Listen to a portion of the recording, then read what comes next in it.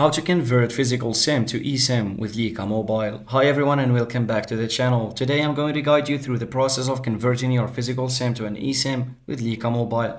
If you're ready to switch to an eSIM for more convenience and flexibility, this video is for you. So let's get started.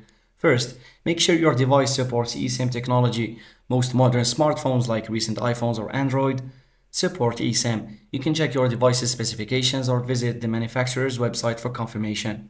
Now, you need to contact Lyca Mobile customer service to request an eSIM. You can do this by calling them, by visiting a store, or just using the live chat on the website.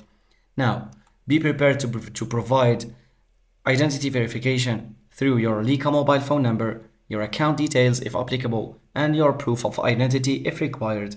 Explain that you want to convert your physical SIM to an eSIM, and they will guide you through the verification process. Once your request is processed, Lyca Mobile will provide you with an eSIM activation QR code or activation details. This might be sent via email or provided directly. On your device, go to Settings. For iPhone, go to Settings, Cellular, add Cellular Plan and scan the QR code or enter the details manually if prompted. For Android, go to Settings, Network and Internet, Mobile Network, add Carrier, and scan the QR code or enter the details manually.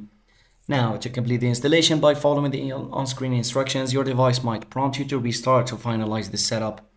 Once the installation is complete, make sure your eSIM is active by checking for signal reception and making a test call or sending a message.